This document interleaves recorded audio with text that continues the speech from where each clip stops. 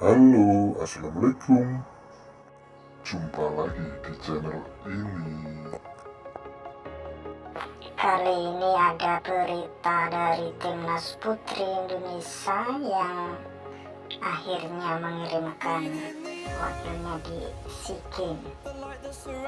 Dan siapakah pemain yang dipanggil ke timnas putri Indonesia yang pertama ada Amalia Fajrina dari Persivo Selanjutnya ada Megawati dari Pertamina. Ada lagi pemain terbaik BCB Nanita Ayu MVP Proliga tahun ini. Ada lagi si cantik Wilda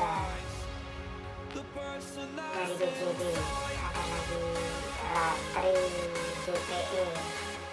Selanjutnya ada Siku yang tutup sebagai BCB dan ada lagi lagi lagi Montok Yula Yulia Heru Cynthia dari Jakarta LDPM dan ada Setter Bisa Amalia yang habis pendidikan di Liguro ada bisa ada lagi Atila Oksikulon dan terakhir ada dari BCB dan akan